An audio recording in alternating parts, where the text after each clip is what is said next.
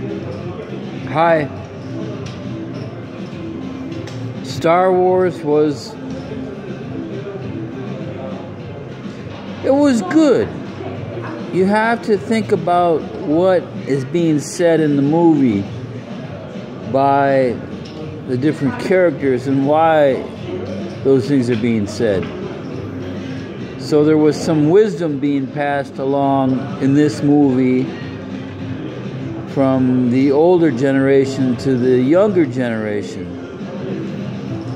Uh, there was a bigger emphasis on the dialogue than other things in this movie.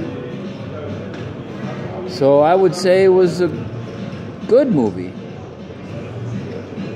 Um, but you have to see it for yourself to decide for yourself.